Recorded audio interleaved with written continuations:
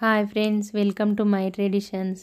ఈరోజు నేను princess cut blouse cutting and stitching చూపిస్తాను. నేను ఒక శారీని తీసుకొని దాని పళ్ళుని ఏ విధంగా బ్లౌజ్ స్టిచ్ చేయాలో చూపిస్తున్నాను. మనము లాంగ్ ఫ్రాక్స్ కానీ టాప్స్ కానీ శారీస్ నుంచి తీసుకొని కుట్టినప్పుడు మనకు ఒక్కొక్కసారి పళ్ళు మిగిలిపోతుంది. ఆ పళ్ళుని యూజ్ చేసుకొని మనం ఈ విధంగా మ్యాచ్ అయితే కనుక బ్లౌజెస్ స్టిచ్ చేసుకోవచ్చు. ముందుగా నేను కొలత బ్లౌజ్ తీసుకున్నాను. చెస్ట్ వచ్చేసి నైన్టీన్ ఉంది. ప్లస్ టూ ఇంచెస్ యాడ్ చేసి ట్వంటీ వన్ తీసుకుంటాను. ఇందులో హాఫ్ టెన్ అండ్ హాఫ్ తీసుకుంటాను. తర్వాత హైట్ లెంత్ వచ్చేసి ఫిఫ్టీన్ ఉంది. దానికి ఇంకొక హాఫ్ ఎక్స్ట్రా తీసుకుంటున్నాను. తర్వాత నెక్ వచ్చేసి సెవెన్. ఇందాక మొత్తం షోల్డర్ కూడా మెజర్ చేశాను. ఆ మొత్తం షోల్డర్ ఫోర్టీన్ ఉందండి ఫోర్టీన్ ఉంది. అంటే అందులో హాఫ్ సెవెన్ తీసుకోవాలి మనం. ఆమ్ లెంత్ వచ్చేసి సెవెన్ తీసుకుంటాం. ఇక్కడ ముందుగా క్లాత్ను ఈ విధంగా నేను ఫోల్డ్ చేశాను. ఫోల్డ్ మన సైడ్ ఉండేట్టు వేసేసుకోవాలి. ఈ విధంగా నేను చెస్ట్ ట్వంటీ వన్ ఉంది కదా టెన్ అండ్ హాఫ్ మార్క్ చేస్తున్నా హాఫ్. ఈ విధంగా టెన్ అండ్ హాఫ్ మార్క్ చేసుకుంటున్నాను. తర్వాత లెంత్ హైట్ వచ్చేసి ఫిఫ్టీన్ అండ్ హాఫ్ తీసుకుంటున్నాను. ఒక హాఫ్ ఎక్స్ట్రా తీసుకుంటున్నాను నేను.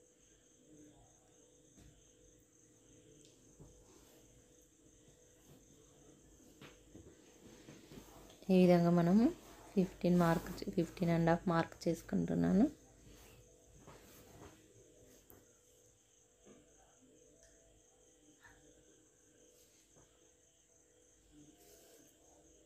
తర్వాత నెక్ వచ్చేసి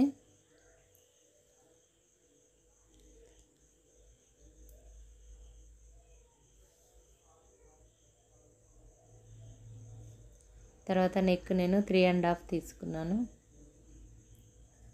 ఇది ఫోర్ కూడా తీసుకోవచ్చండి. ఫోర్ తీసుకుంటే బాగుంటుంది. కాకపోతే నేను త్రీ అండ్ హాఫ్ తీసుకున్నాను.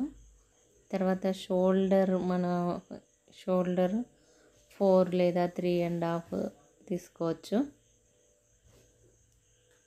ఇక్కడ ఆమ్ లెంత్ వచ్చేసరికి సెవెన్ తీసుకుంటున్నాను. మనం ఈ విధంగా డ్రా చేసుకొని క్రాస్గా మార్క్ చేసుకోవాలి. తర్వాత నెక్ డీప్ కూడా నేను త్రీ అండ్ హాఫ్ తీసుకుంటున్నాను.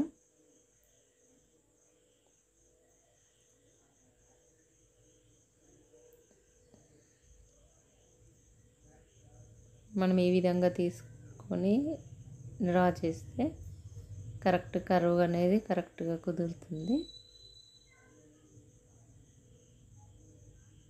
ఇక్కడ నేను వన్ ఇంచ్ ఎక్స్ట్రా తీసుకున్నాను కదా అది మార్క్ చేసుకుంటున్నాను ఇక్కడ. రెండు సైడ్లు కూడా వన్ వన్ ఇంచ్ కాబట్టి ఆ విధంగా మార్క్ చేసుకున్నాను.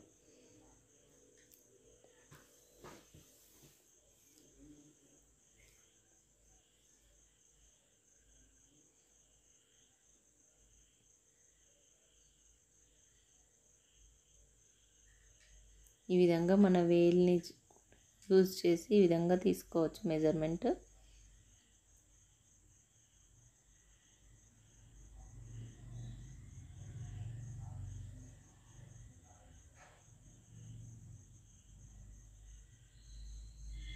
తర్వాత వేస్ట్ మనం మార్క్ చేసుకోవాలి.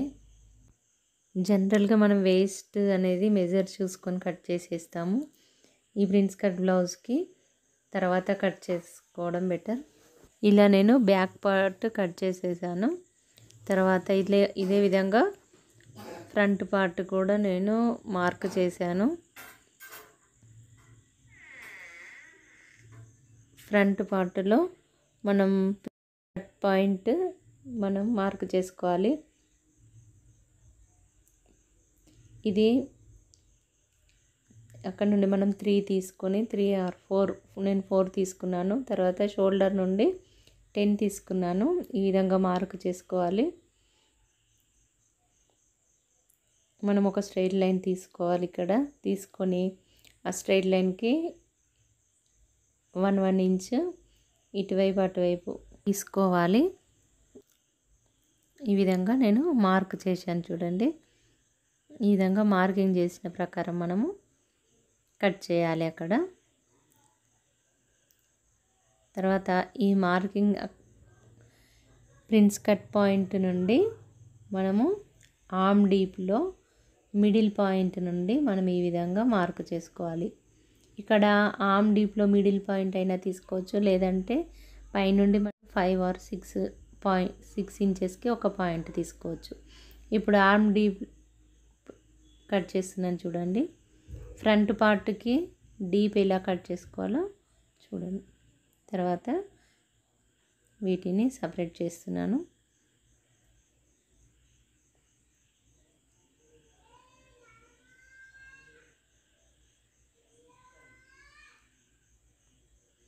చూడండి ఈ విధంగా వస్తుంది. ఇవి ఈ విధంగా జాయిన్ చేయాలి.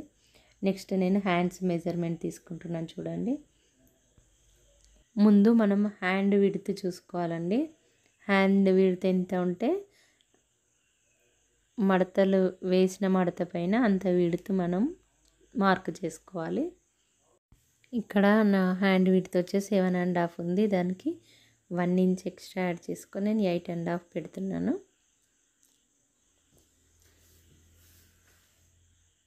తర్వాత హ్యాండ్ ముందు వైపు మనము హాఫ్ ఇంచ్ అయినా సరే లోపలికి మడవడానికి వన్ ఇంచ్ తీసుకున్నాను నేను.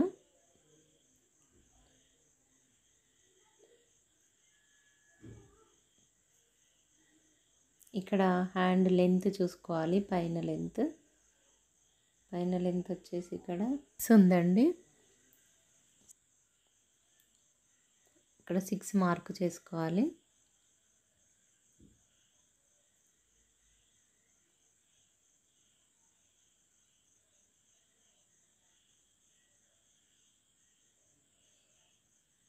తర్వాత కింది వైపు నేను టూ మార్క్ చేసుకున్నాను. ఈ విధంగా వన్ ఇంచ్ కూడా మార్కు చేసుకున్నాను. ఈ విధంగా నేను స్ట్రైట్ లైన్ తీసుకొని ఈ విధంగా మనం కరువు లాగా ఒక నాలుగు వేల వెడల్పు వదిలేసి నాలుగు లేదా మూడు వేల వెడల్పు వదిలేసి కరువు తీసుకోవాలి. అయితే ఇక్కడ పైన లెంత్ సిక్స్ ఉన్నప్పుడు కింది లెంత్ టూ అండ్ హాఫ్ తగ్గించి తీసుకోవాలండి. ఈ విధంగా నేను మార్క్ చేసేసుకున్నది చేసేసాను.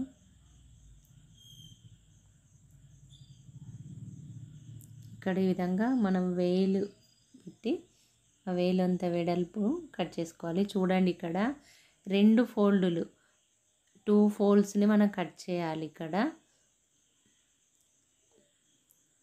తర్వాత నేను ఈ విధంగా నేను శారీ పళ్ళుని కట్ చేసేసాను. అయితే వీడియోలో అది కొంచెం డల్గా కనబడుతుంది కానీ యాక్చువల్గా అది చాలా షైనింగ్ ఉంది. టస్సర్ సిల్క్ అంటారు చూడండి ఆ క్లాత్ అది. వీడియోలో అది షైనింగ్ ఉండేసరికి సిల్వర్ థ్రెడ్స్ వచ్చినాయండి దాంట్లో. అది కొద్దిగా డల్గా కనబడుతుంది.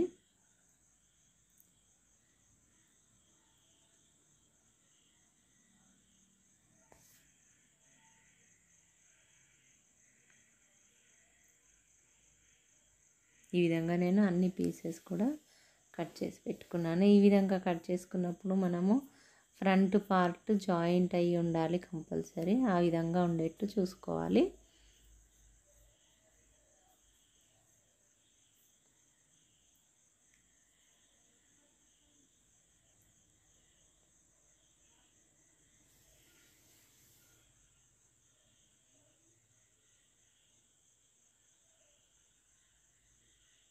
ముందుగా నేను స్టిచ్చింగ్ పార్ట్లో భాగంగా హ్యాండ్స్ని జాయిన్ చేస్తున్నాను. హ్యాండ్స్ని మనము డైరెక్ట్ ఫోల్డ్ చేసి కూడా జాయిన్ చేసుకోవచ్చు. నేను ఏం చేస్తానంటే నేను హేమింగ్ అది ఏం చేయకుండా ఈ విధంగా హ్యాండ్స్ను ఈ విధంగా స్టిచ్ చేసి జాయింట్ చేసి రివర్స్ తీసి ఇలా దానిపైన కుట్టు వేసేసి మళ్ళీ లోపలికి ఫోల్డ్ చేస్తాను. నేను ఎక్కువ ఈ హేమింగ్ ఇలాంటివి పెట్టుకోకుండా డైరెక్ట్ ఈ విధంగానే బ్లౌజెస్ అన్నీ కూడా నేను స్టిచ్ చేసుకుంటాను. ఇక్కడ మనము పైపింగ్ చేసినది కూడా మనం అటాచ్ చేసుకోవచ్చు. చాలా బాగుంటుంది. ఈ విధంగా నేను టూ హ్యాండ్స్ని కూడా స్టిచ్ చేసేసాను. తర్వాత ఈ విధంగా బ్యాక్ పార్ట్ని స్టిచ్ చేస్తున్నాను. నెక్ జాయిన్ చేస్తున్నానండి బ్యాక్ పార్ట్. నెక్. ఈ విధంగా స్లిట్స్ కట్ చేసుకొని రివర్స్లో తీసి మళ్ళీ దానిపైనే స్టిచ్ వేయాలి. మనము ఈ విధంగా స్టిచ్ చేసినప్పుడు కింద క్లాత్ ఇందాక స్టిచ్ చేసిన క్లాత్ దాని కింద ఉండేట్టు చూసుకోవాలి. మళ్ళీ నేను రివర్స్లో కూడా చేసి స్టిచ్ చేస్తున్నాను. మనం నెక్ కూడా ఈ విధంగా పై ఇక్కడ పైపింగ్ కూడా చేసుకుంటే చాలా బాగుంటుంది. నేను వీలైతే మరో వీడియోలో నేను పైపింగ్ అటాచ్ చేసి చూపిస్తాను. ఈ విధంగా నేను లైనింగ్ అనేది క్లాత్ నుండి జరగకుండా ఉండడానికి మొత్తం చుట్టూ కూడా నేను అటాచ్ చేసేస్తున్నాను. ఈ విధంగా అటాచ్ చేయడం వల్ల మనకు ఏ విధంగా ఎలాంటి డిస్టర్బెన్స్ అనేది ఉండదు.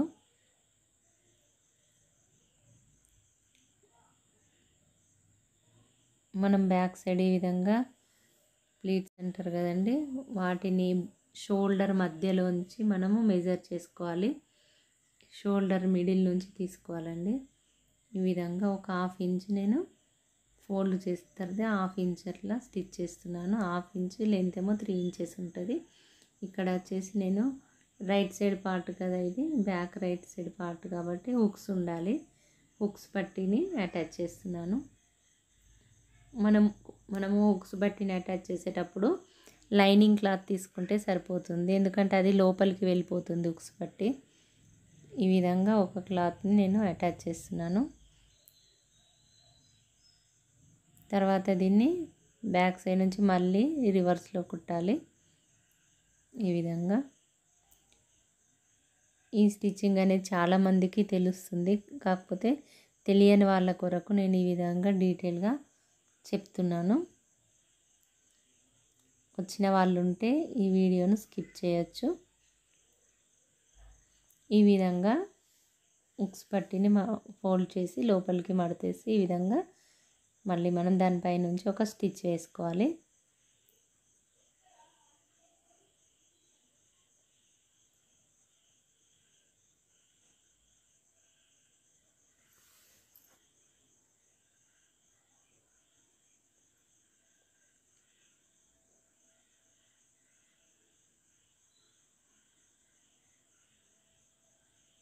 ఈ విధంగా ఎక్స్ట్రాని కట్ చేసేస్తున్నాను.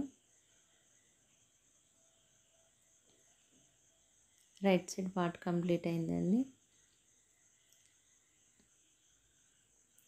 నెక్స్ట్ లెఫ్ట్ సైడ్ పార్ట్ కూడా ఈ విధంగానే నెక్ స్టిచ్ చేసేసి చుట్టూ కూడా స్టిచ్ చేశాను. ఇప్పుడు ఇక్కడ ఉక్స్ పట్టిని కాజా పట్టిని యాడ్ చేస్తున్నానండి. జనరల్గా నార్మల్ బ్లౌజెస్కి అయితే ఫ్రంట్ ఓపెన్ బ్లౌజెస్కి అయితే కాజా పట్టి సేమ్ లైనింగ్ తీసుకుంటే సరిపోతుంది. కానీ ఇది బ్యాక్ ఓపెన్ కాబట్టి మనకు ఆ క్లాత్ కనబడకుండా ఉండడానికి సేమ్ క్లాత్నే మనము ఉక్స్ పట్టి సారీ కాజా పట్టి కింద మనం తీసుకోవాలి. ఎందుకంటే ఉక్స్ నుంచి అది కనబడుతుంది కాబట్టి ఆ విధంగా తీసుకుంటాము. ఇప్పుడు నేను వీటిని ప్రిన్స్ కట్ పీసెస్ని ఈ విధంగా అటాచ్ చేసేస్తాను.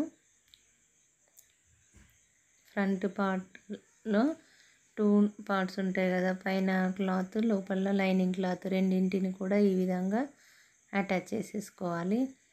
ఇలా అటాచ్ చేసేటప్పుడు ఒక్కొక్కసారి మనకు క్లాత్ తక్కువగా వచ్చినట్టు అనిపిస్తుంది కానీ అది క్రాస్గా ఉంటుంది కాబట్టి మనము అడ్జస్ట్మెంట్ చేసి స్టిచ్ చేసేయాలి. అడ్జస్ట్ చేసి స్టిచ్ చేయడం వల్లనే అక్కడ షేప్ అనేది కరెక్ట్గా వస్తుంది.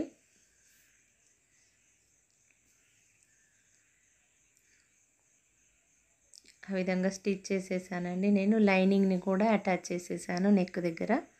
అటాచ్ చేసి రివర్స్లో తీసి మళ్ళీ నార్మల్గా బ్యాక్ సైడ్ ఎలా అయితే చేశానో ఆ విధంగానే స్టిచ్ చేశాను. ఇప్పుడు తీసుకునే క్లాత్ ఏంటంటే ఫ్రంట్ బ్యాక్ సైడ్స్కి కింద వేస్ట్ దగ్గర జాయింట్ చేసేయడానికి ఈ విధంగా నేను చివర్లు కుట్టేసి ఇప్పుడు నేను జాయిన్ చేస్తున్నానండి. నేను ఫ్రంట్ బ్యాక్ సైడ్స్కి సపరేట్గా జాయిన్ చేస్తున్నాను. ఎందుకంటే మనము లూజ్ టైట్ అయినప్పుడు బ్లౌజెస్ ఈజీగా మనము స్టిచ్చెస్ విప్పుకోవడానికి ఈజీగా ఉంటుందండి. మొత్తం ఒకటే స్టిచ్ చేస్తే మనకు ఆ అవకాశం ఉండదు. కాబట్టి నేను సపరేట్గా జాయిన్ చేస్తున్నాను. ఇది లోపలికి ఫోల్డ్ చేసి మనం హేమింగ్ చేసుకోవచ్చు లేదంటే స్టిచ్ కూడా వేసుకోవచ్చు. మనం లోపల నుండి కూడా స్టిచ్ చేసుకోవచ్చు అండి ఆ క్లాత్ని. క్లాత్ లేకుండా డైరెక్ట్ లైనింగ్ని కూడా జాయిన్ చేయొచ్చు. కొందరు ఆ విధంగా కూడా జాయిన్ చేస్తారు. ఇప్పుడు నేను షోల్డర్స్ అటాచ్ చేస్తున్నాను. రెండు కూడా రైట్ పార్ట్స్ లోపలికి వేసేసి మనం షోల్డర్ని ఈ విధంగా అటాచ్ చేసేసుకోవాలి. తర్వాత ఈ విధంగా మనము హ్యాండ్స్ స్టిచ్ చేసిన హ్యాండ్స్ని ఈ విధంగా మనం ఒకసారి చెక్ చేసుకోవాలండి ఈ విధంగా. కరెక్ట్ సరిపోయిందా లేదా అనేది మనకు తెలుస్తుంది. ఈ విధంగా ఒకసారి కట్ పాట ఆ విధంగా వచ్చేస్తుంది. చూడండి కరెక్ట్గా సరిపోయింది.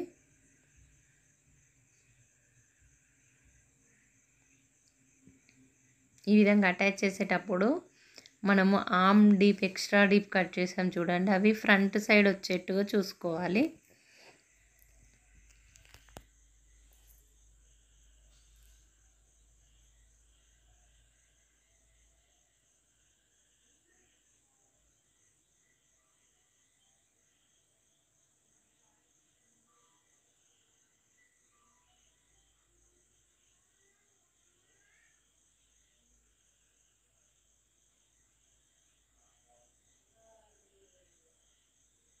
ఈ విధంగా హ్యాండ్స్ నేను స్టిచ్ చేసేసాను. ఈ విధంగా సెకండ్ హ్యాండ్ కూడా ఈ విధంగా వేసి స్టిచ్ చేసేసానండి. తర్వాత హ్యాండ్స్ నుంచి మనము జాయిన్ చేసేసేయాలి. ఈ హ్యాండ్స్ పార్ట్ నుండి తీసుకుంటాం. ఈ విధంగా రివర్స్లో వేసి ఈ హ్యాండ్ పార్ట్ అనేది మన మన విడితే ఎంత ఉంటుందో చూసుకొని మార్క్ చేసుకొని ఈ విధంగా మనము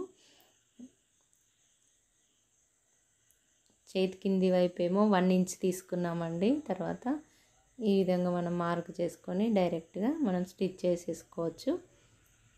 ఈ వీడియో కనుక మీకు నచ్చినట్లయితే తప్పకుండా సబ్స్క్రైబ్ చేయగలరు. Thank you for watching.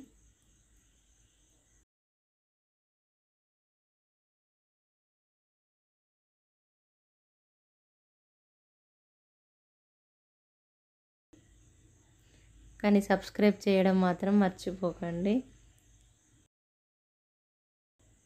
Like చేయండి షేర్ చేయండి అండ్ కామెంట్ చేయండి.